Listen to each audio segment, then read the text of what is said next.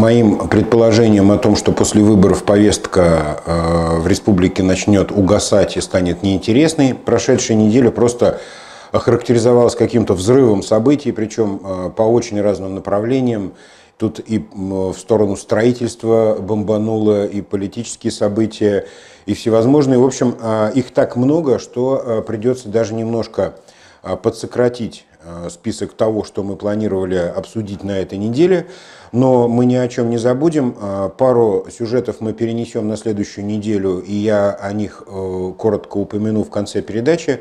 Это касается санатория Карагай и э, Баймакского района. Но начнем по порядку и, э, естественно, с э, самых важных политических событий. Самым крупным и заметным политическим событием прошедшей недели, безусловно, был визит Радия Хабирова на Валдайский форум, который теперь почему-то проходит в Сочи. Но не будем об этом заострять внимание. Значит, мне бросились в глаза два заявления Хабирова, которые он сделал на этом форуме. Вообще Хабиров там блистал. Он как новоявленный губернатор был обласкан вниманием значит, людей, которые на этот форум прибыли. Он делал там какие-то доклады, и, как он сам писал, люди чрезвычайно заинтересовались э, национальной повесткой в Республике Башкортостан, как будто раньше этой повестки не существовало. Ну ладно. Так вот, Хабиров заявил о том, что в Башкирии больше вообще от слова совсем не существует проявлений э, такого отвратительного явления, как ваххабизм э, и прочие близкие к нему течения. Хабиров сказал, что в Башкирии нет ни одной мечети, в которой мог бы быть или есть ваххабизм. Настолько огульное э, заявление, конечно, характеризует э, Ради Фаритовича с точки зрения человека, который, скорее всего, не понимает глубоко ситуацию, э, вероятнее всего, не знает корней этого отвратительного религиозного явления, ну и, видимо, как говорится, глубоко не копает. Ему главное отчитаться. Опасное на самом деле заявление, потому что если, не дай бог, и не приведи Господь в ближайшее или отдаленное время случится опять выявление каких-то вот этих вот ячеек, какого-то вот этого подполья, там каких-то вот этих вот а, граждан этим делом занимающихся и увлекающихся, Хабиров автоматически попадет в очень глупую ситуацию. Ну да посмотрим. Второй вопрос, который э, заинтересовал меня э, выступлениях Хабирова на Валдайском форуме, носит скорее научный характер. Такой, может быть, он покажется кому-то скучным, но на самом деле он очень важный. Хабиров заявил дословно следующее. Мы в Башкирии не знаем и не любим термин «толерантность», потому что в его корне заложен принцип терпения, а народ РБ вовсе не терпит друг друга, а вполне себе живут друг с другом. Вот так заявил а, Хабиров. Ну, во-первых, а, в корне понятия э, толерантность лежит вовсе не терпение, а терпимость. Ради Фаритович, конечно, э, должен иметь некую скидку, потому что русский язык для него не родной. Использует он его, прямо скажем, не всегда по назначению, но здесь, если уж человек пустился в какие-то вот такие сложные э, практические, теоретические, э, но непростые рассуждения, он должен был дать себе труд все-таки ознакомиться с терминами, что они означают, какой контекст несут и так далее. То, что самому Хабирову не нравится слово «толерантность», не говорит о том, что, э, ну, во-первых, что его совсем не знают в республике, знают Ради Фаридович. Например, я его знаю, еще несколько десятков тысяч человек вокруг меня проживающих. Более того, э, брать на себя вот этот э, как бы груз ответственности, заявив, что никто тут у нас толерантностью не страдает, извините, конечно, тоже, наверное, неправильно. Но Хабиров не был так однозначен, вернее, односложен в своих вот этих вот громких заявлениях он продолжил. Э, снова цитирую. «Все мы немного застряли в прогрессивных видениях современной историографии политологии, а мы в республике живем в дружбе народов», опять сообщил нам Ради Фаритович. Здесь, конечно, вообще полнейший, абсолютный э, словесный винегрет. Э, я не знаю, зачем Ради Фаритович э, использовал в этом предложении слово «историография», Очевидно, что э, Хабиров э, абсолютно не, не понимает значение этого слова, а использовал его абсолютно в музыкальном смысле, то есть ему, видимо, очень понравилось, как оно звучит. Наверное, не лишним было бы сделать ремарку о том, что историография – это наука, изучающая совокупность исследований на ту или иную тему. И эта наука делает акцент на, авторс, э, на авторские пристрастия исследователя. То есть это наука, исследующая исследования – контексте той фразы, которую произнес Хабиров на Валдайском форуме, э, слово было очевидно лишним, но э, что теперь делать? Э, вообще складывается впечатление, что Хабиров как-то тяготеет к тому, чтобы ну, казаться умнее и лучше, чем он есть на самом деле. Значит, одновременно с этим постоянно обращаясь к каким-то упрощениям ситуации. То есть вместо того, чтобы обсуждать действительно сложную ситуацию в республике э, и с точки зрения национальных э, взаимоотношений. Дело в том, что когда существует больше одного народа на территории, это уже всегда проблема обязательно. Она может быть регулируемой, контролируемой, она может быть последовательно улучшаемой, но это всегда проблема.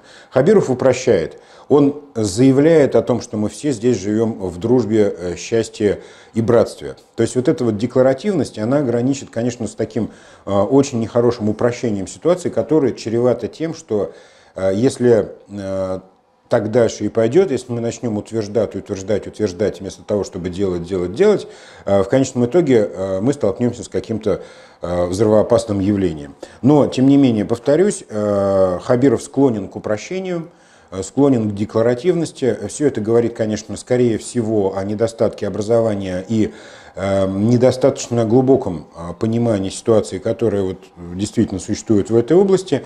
Ну и, наверное, как причина еще этого, то, что окружение у Хабирова – это люди с весьма таким замысловатым образованием, которые не, не могут не передавать ему вот эту вот Э, инфекцию э, дилетантства, инфекцию вот этого зазнайства и так далее. Ну, в общем, как говорится, э, есть что есть, но вот подобные заявления, на мой взгляд, все-таки являются опасными для перспектив развития вот этих межнациональных отношений и, и решения многих существующих проблем в этой области.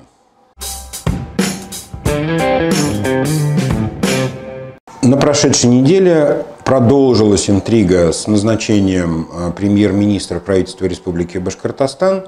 Так и непонятно, э, каковы перспективы вступления в эту должность э, Андрея Назарова. Тем не менее, есть некие косвенные и некосвенные признаки того, что процесс его назначения все-таки продолжается, несмотря на первоначальный отказ. Я говорю о том, что ну, в правительстве идут достаточно бурные процессы. Назаров знакомится с делами, то есть и выглядит это а, в такой форме, что ну, человек реально вступает в полномочия, несмотря на то, что он все еще не назначен. А, то есть он инспектирует а, ведомство, знакомится с делами, знакомится с руководством, вникает в процессы и так далее. То есть процесс такой как бы штатный рабочий, который должен был бы идти тогда, когда премьер-министр уже назначен. Вторым аспектом этой интриги я бы э, назвал повторную волну компромата, которая хлынула через сливные информационные бачки э, в информационное пространство. Опять, значит, все вот эти истории с там, сибайскими событиями, какие-то там э, неимоверные квартиры в Москве, уже начали говорить о там, негативном влиянии компании «Гранель» на подмосковный бизнес. Ну, то есть фантазия у этих людей работает, сюжеты развиваются и так далее. Характерно, повторюсь, является то, что это вторая волна компромата в отношении э, Андрея Назарова, и это тоже определенным образом подтверждает, что вопрос с Назаровым все еще не закрыт. Ну и третья история про Назарова на этой неделе, это, конечно, история Марин Ле Пен. Я уже высказывался в прессе на эту тему. Я считаю это э, тактической ошибкой э, Назарова. Нельзя увязывать себя, особенно будучи вот в таком не до конца стабильном политическом положении, с настолько токсичными фигурами, как а, Марина Ле Пен. Я а, предполагаю, что все еще не решено до конца, и а, пиарщикам Андрея Назарова, если они вообще существуют, в чем я сильно сомневаюсь, нужно бегом бежать и отказываться от этой идеи, извиняться перед мадам Ле Пен, подарить ей башкирский мед и медовуху от Азамата Галина и э, отменить эту встречу. Почему? Потому что э, в моем представлении э, мадам Ле Пен, конечно, рано или поздно в имиджевом смысле подставит Андрея Назарова. То есть я абсолютно убежден, что однажды она выйдет э, со свастикой на Елисейские поля, и об этом будет говорить весь мир, а мы будем ассоциировать эту историю с Андреем Назаровым. Зачем это ему нужно, я не понимаю. В общем, я надеюсь на здравый смысл и практичность Андрея Геннадьевича, и надеюсь на то, что эта встреча на башкирской земле, по крайней мере, никогда не состоится.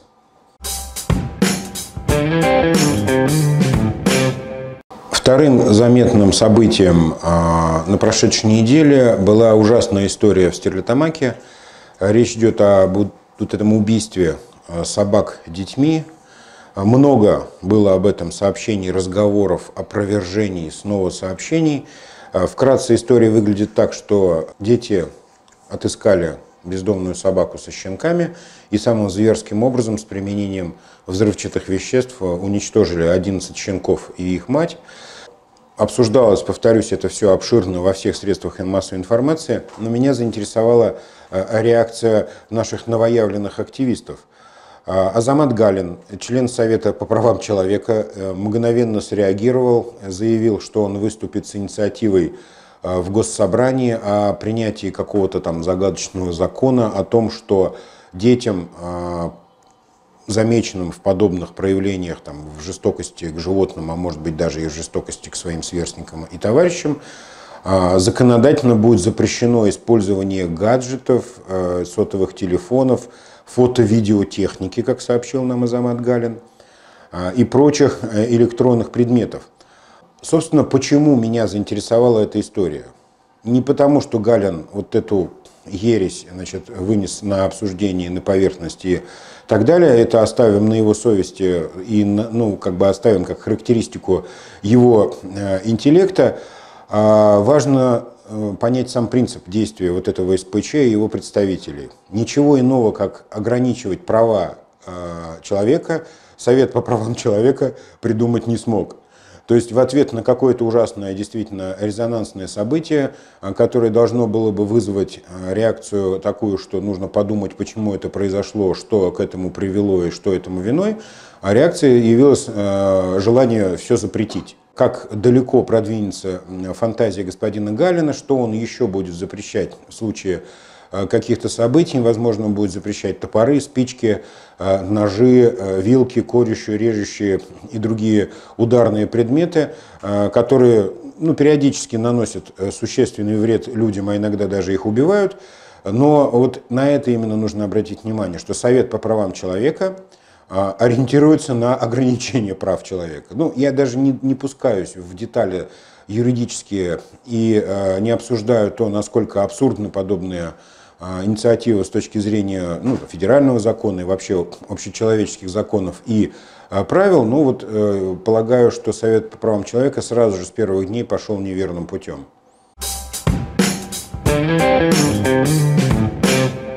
Теперь, как говорится, к новостям экономики, а, потому что все оставшиеся у меня а, в списке на сегодня а, темы так или иначе касаются экономических процессов, бизнес-процессов, процессов в долевом строительстве и так далее. Начнем с пресловутого золотого запаса. Вокруг него на прошедшей неделе развернулись бурные события. В отличие от того, что было в предыдущей неделе обсуждение, споры и предложения разных вариантов решений перешли в практическую сферу. Вообще у меня складывается впечатление, что э, вкладчики золотого запаса разделились на две неравные группы. А первая группа – это люди, которые ратуют за силовое решение, э, за вмешательство в ситуацию э, силовых структур и решение этой проблемы через аресты, выемки и там, всевозможные изъятия. Вторая и большая часть э, вкладчиков – это та часть, которая склонна э, к варианту решения через э, банкротство, через введение арбитражного управляющего, который должным образом аккумулирует и перераспределит активы в сторону вкладчиков в рамках банкротного производства.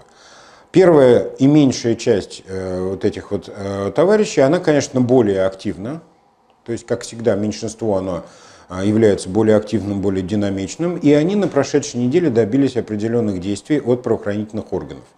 А именно, 2 октября в рамках доследственной проверки был проведен осмотр места происшествия, предполагаемого, там, согласно заявлению одного из вкладчиков, а именно на проспекте Октября 55 в офисе Золотого запаса был произведен этот осмотр. В рамках этого осмотра было изъято 10 персональных компьютеров, Э, оригиналы документации, договора, и, э, в общем-то, машина вроде как завертелась, вот эта вот вся.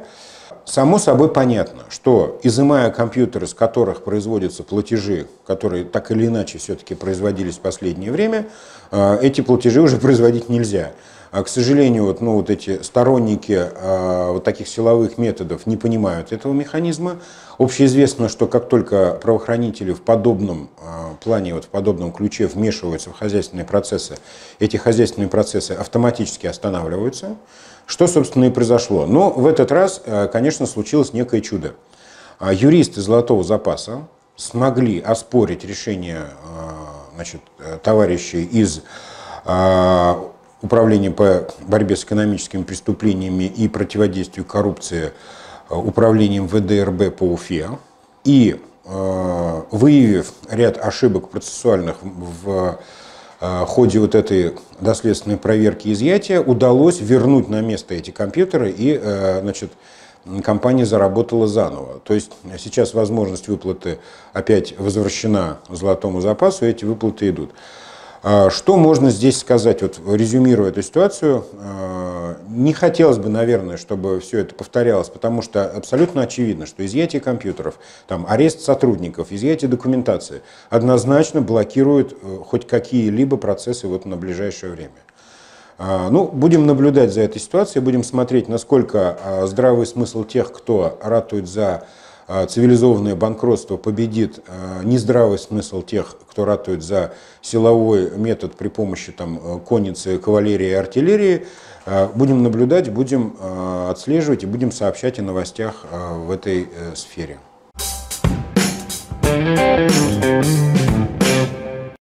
Теперь о компании «Пышка». На предшествующих неделях, не на прошлой неделе, а чуть ранее, а, развернулись события вокруг этой компании. Компания всегда у всех на слуху, потому что все мы являемся ее потребителями. Так вот, напомню, история следующая. А, несколько лет назад а, компания «Пышка», вернее, одно из ее подразделений, приобрела право на недострой в ближайшем пригороде Уфы. Идея была такая, приобрести там недостроенный объект, а именно буквально фундамент – земля городская. А, так вот, на этом фундаменте построить придорожное кафе. А, был э, план инвестировать туда серьезные деньги и, в общем-то, начинать наконец-то разворачивать а, вот эту сеть придорожных кафе, которые должны быть вообще-то в Башкирии. Башкирия отличается тем, что у нас вообще эта сфера практически на нуле.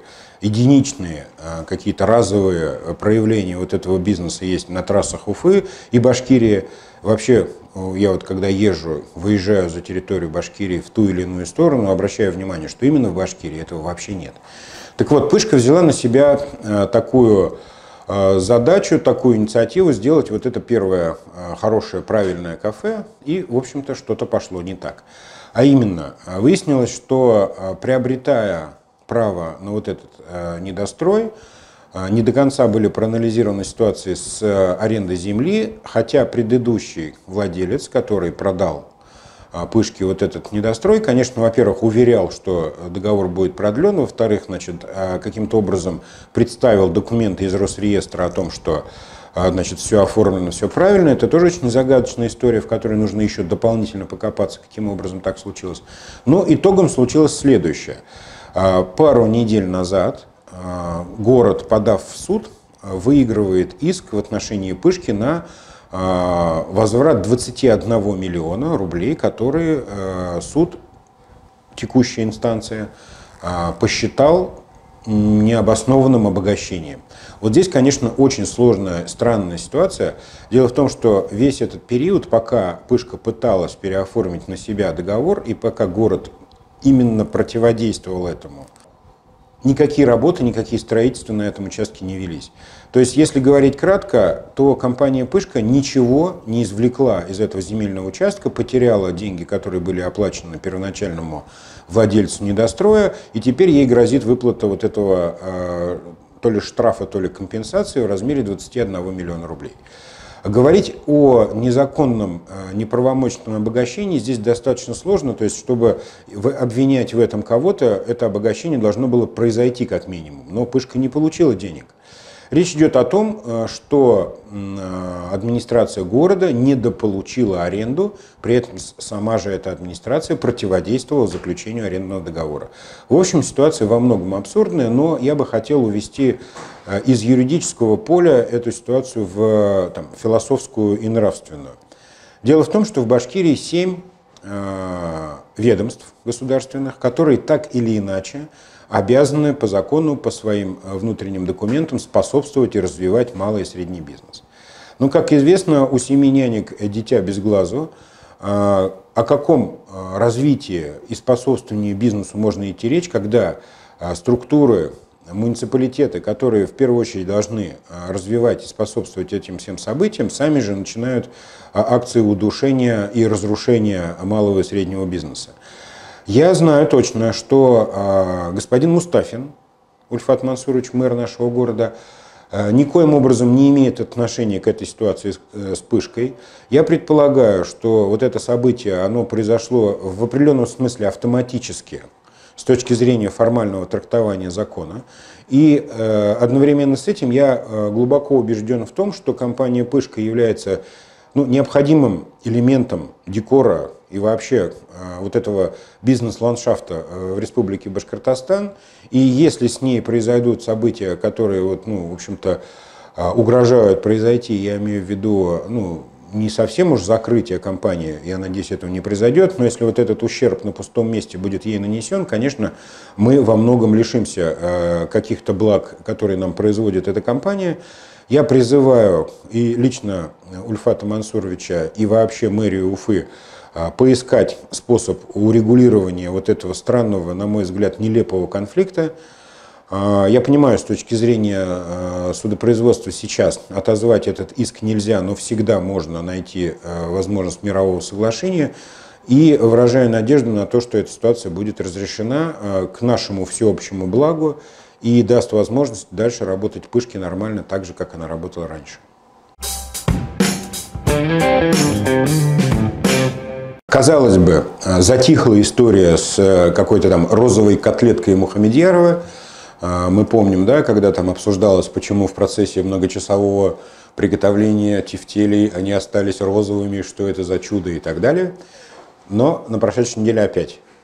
Школьник из 119 школы сделал заявление весьма такое громкое и категоричное, нафотографировал школьную еду, сообщил о том, что ему надоело голодать, что микроскопическая булка стоит 20 рублей и больше, порции уменьшаются, э, исчезают продукты, которые э, там дети любили, потребляли из ассортимента и появляются какие-то новые подороже.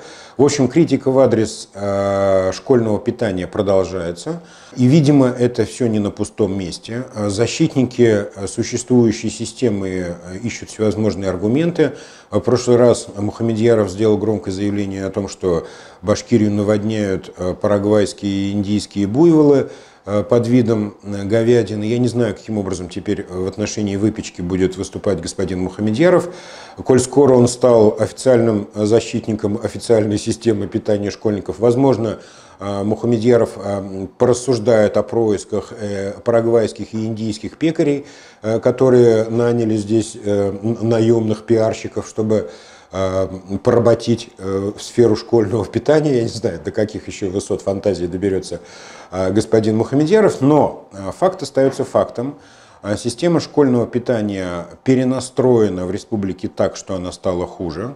Более того, мне стало известно, что это оказывается традиционная история для команды Хабирова. Из Красногорска сообщают, что там было примерно то же самое.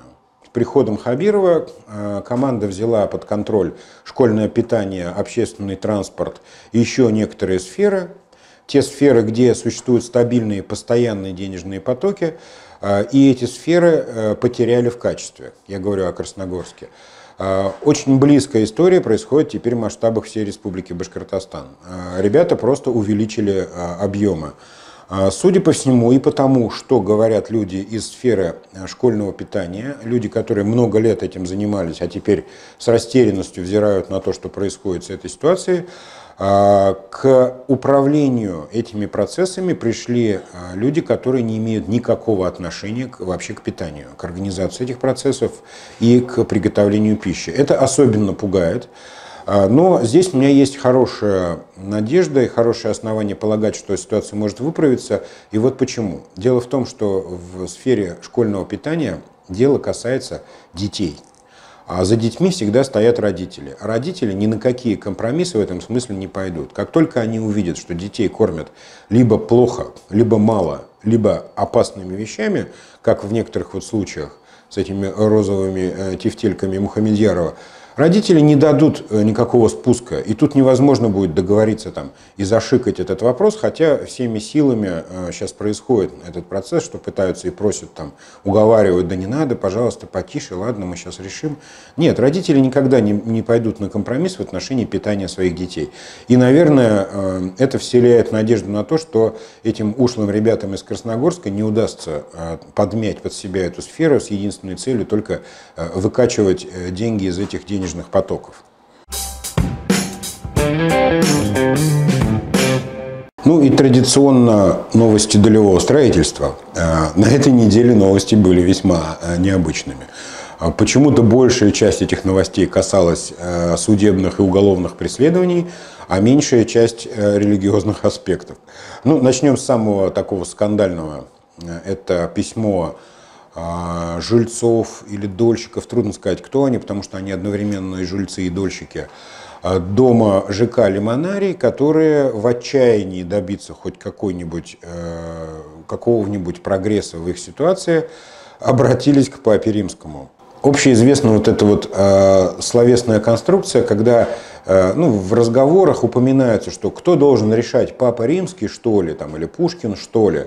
Э, существует такая вот конструкция в разговорном языке. И в этом случае эта конструкция, судя по всему, явилась э, причиной вот этого яркого э, события информационного повода, который случился в ЖК «Лимонарий». А именно в перепалке, в разговоре между ну, отчаявшимися вот этими жильцами, у которых нет горячей воды, там, нет благоустройства территорий там, и прочих многих вещей, они ругались со своей управляющей компанией, которую, собственно, возглавляет а, родственник а, владельца компании, застройщика. И в этом перепалке возник вот этот вот разговор, что мы будем писать, да пишите куда хотите, хоть папе римскому. И вот в этот момент все и случилось.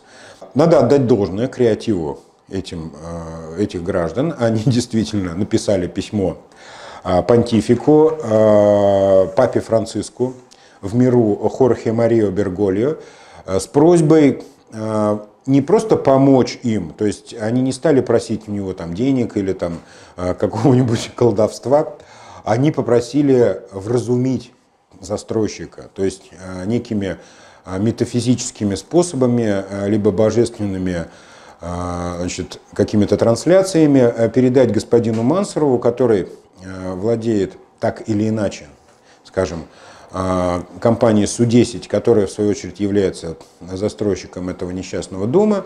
Так вот, э, по задумке дольщиков, э, папа Франциск должен внушить Мансурову некую ответственность за то, что он делает. А, в общем, это э, было бы смешно, если бы не было так трагично. Я полагаю, конечно, что папа Франциск не станет напрямую влиять на сознание господина Мансурова, хотя, наверное, надо было бы. Но, а, как ни странно, письмо возымело эффект. По крайней мере, в доме появилось отопление. Его в панике подключили, я не знаю уж каким там законным, незаконным способом, но отопление появилось. Горячая вода, правда, не появилась. Люди живут все в тех же нечеловеческих условиях, но процесс пошел. История эта всколыхнула, в общем-то, а, федеральную э, медийную повестку. Очень многие издания, даже а, издание СНОП сообщила об этой истории, там появилась куча всяких картинок и мемасиков, что, дескать, э, Папа Римский может все, обращайтесь.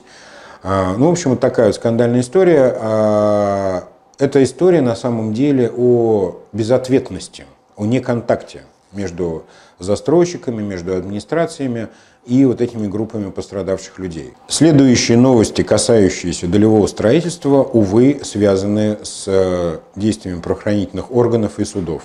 Я говорю о том, что э, на прошедшей неделе суд по требованию прокуратуры изменил меру пресечения господину Комлеву, э, руководителю фирмы-застройщика Миловского парка, и Комлеву снова назначен домашний арест. До этого он был под подпиской о невыезде, а еще ранее он был также под домашним арестом, и вот теперь его снова помещают под домашний арест. Я не знаю, э, какие были аргументы прокуратуры, которая требовала вот этого изменения – но у меня складывается четкое ощущение того, что власти и, и судебные, и следственные, и администрация а, республики, находясь в тупике и не понимая, как решать проблему Миловского парка, это крупнейший объект проблемного долевого строительства, решили а, пока на время или на совсем обратиться к методике а, некой моральной компенсации. То есть, если уж мы вам не можем достроить дома и построить квартиры, давайте мы накажем вот этого злодея. Да? Ну, вот у меня такое предположение. Я не знаю, чем закончится э, преследование господина Комлева. Сейчас он под домашним арестом, и попадет ли он в места заключения по решению суда, мне неизвестно. Я думаю, что история эта будет очень длинной, потому что суд там тоже будет очень длинным. Хотелось бы понять другое. Хотелось бы понять, насколько а, дольщикам, нескольким тысячам человек, которые попали в сферу проблемы Миловского парка, достаточно того, что накажут Комлева. Разойдутся ли они по домам и начнут ли заново зарабатывать себе на новые квартиры, успокоившись после того, как Комлева, например, посадят, или этого им будет недостаточно. Вот это меня интересует, насколько а, правы или неправы власти в своем предположении, что достаточно наказать злодея, и тогда люди, как говорится, разойдутся, успокоившись. Еще одно судебное дело в отношении а, строителя а, на этой неделе развивается несколько более динамично. Абсолютно неожиданно для всех. Прокуратура выдвинула обвинение господину Носкову, тому самому пресловутому моему другу Андрею Носкову, с которым мы а, все еще судимся за всевозможные а, слова в его адрес, и мы обязательно об этом поговорим. Так вот, прокуратура обвиняет Андрея Носкова по двум статьям Уголовного а, кодекса. А именно, Андрей Носков, совладелец, бенефициар, ну, в общем, хозяин группы компании ПСК-6, обвиняется в мошенничестве, 159 статья, и нанесение ущерба путем завладения доверием или введением в заблуждение статья 165 Уголовного кодекса Российской Федерации. Это уже официальное обвинение. А прокуратура требует суд назначить э, наказание Андрею Носкову в виде лишения свободы на 9 лет. А это я говорю отдельно, отчетливо и понятно, для того, чтобы было, э, можно было сложить себе впечатление о бизнесмене Носкове.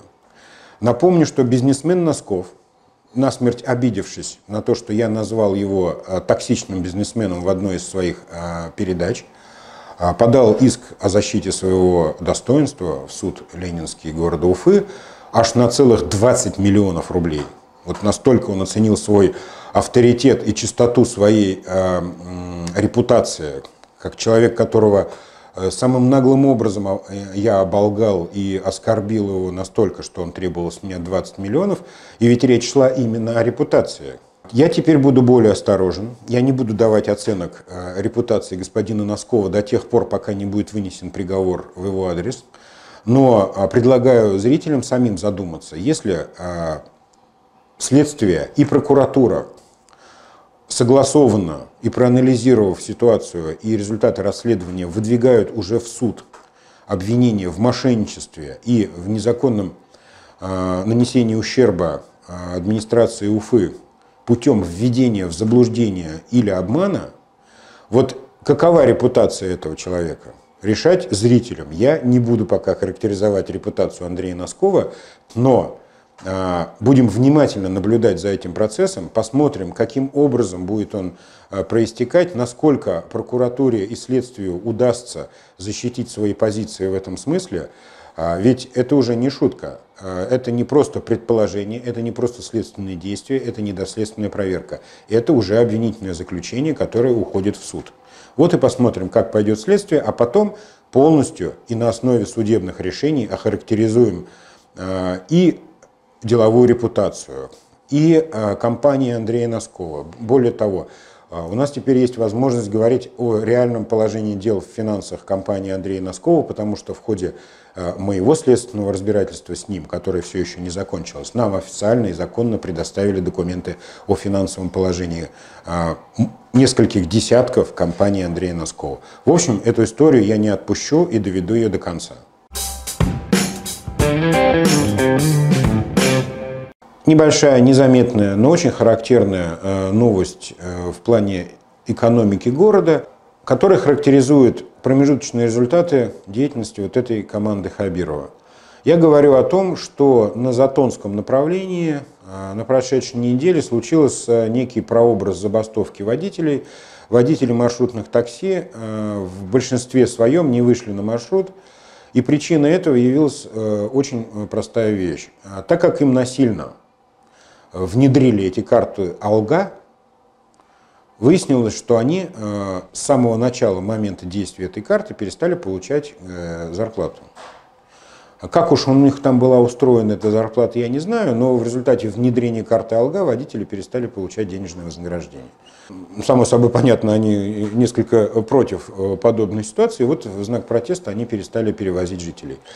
А, что это говорит? Это говорит о том, что сама система, сама схема организации работы вот этой карты а, устроена настолько неправильно, что страдает ну, главное звено в этой всей э, цепочке, а, пассажир, водитель, посредники и там вот этот комитет по транспорту и так далее. Так вот, главными там являются пассажиры и водители.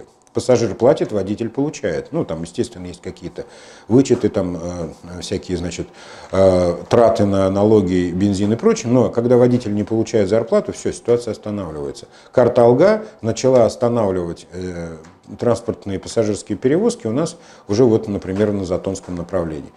А, это тревожный сигнал, я не знаю, насколько на него среагируют власти, смогут ли они выправить эту ситуацию, но если они не будут обращать на эту ситуацию внимание, э, водители просто перестанут пользоваться этой картой. В самом начале передачи я обмолвился о том, что э, очень много у нас тем сегодня. Дело в том, что помимо того, что происходило в открытом пространстве, э, в прошедшей неделе как-то особенно усилился поток обращения в адрес э, меня лично, в адрес канала и так далее. С чем это связано? Я э, полагаю, что с тем, что окончательно э, произошло разочарование вот в этом инциденте. Я думаю, что гибель инцидента произошла в момент подключения отопления всем, когда на эту систему обрушился шквал звонков, обращений вот этого всего э, мессенджеров и прочих-прочих вещей, в этот момент, конечно, инцидент перестал существовать в том смысле, что он не просто не справился с нагрузкой, а ему нечего было сказать. Ну и естественной реакцией явилось то, что люди перестали э, к нему обращаться и, и доверять ему. Так вот, последние две недели действительно у нас шквал э, этой информации. Среди разных, очень разных э, там, обращений, писем э, всевозможных заявлений есть очень важные и очень интересные. В частности, я бы выделил два, которые хотел обсудить сегодня, но будем обсуждать чуть позже. Первое – это назначение главврача санатория «Карагай», а, которое произошло с какими-то очень странными обстоятельствами и по предположению а, сотрудников санатория с э, большим количеством нарушений, о которых нужно говорить и так далее. Я прошу людей, причастных к этой истории, написать, позвонить, сообщить нам э, все, что вы знаете о новом главвраче э, санатория Карага и тех обстоятельствах, при которых он э, пришел туда работать. Второй интересной темой, которую мы планируем обсудить в ближайшее время, это ситуация в Баймакском районе. Оттуда пришло письмо, вернее даже это было не письмо, это некая очень обширная, серьезная, добротная аналитическая записка в стиле, который готовят вот аналитические управления главы администрации.